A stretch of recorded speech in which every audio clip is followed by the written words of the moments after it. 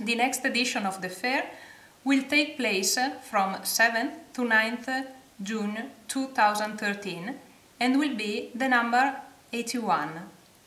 It's the oldest wine fair of Friuli. This fair offers uh, wine and the food uh, tastings, technical conferences, cultural appointments, stands of local products, and uh, events for uh, children and their families. For these reasons, Buttrio, that is a city 10 kilometers far from Udine, is an important step of travel among territory, food, and uh, wine. And to taste all these things, we will wait for you here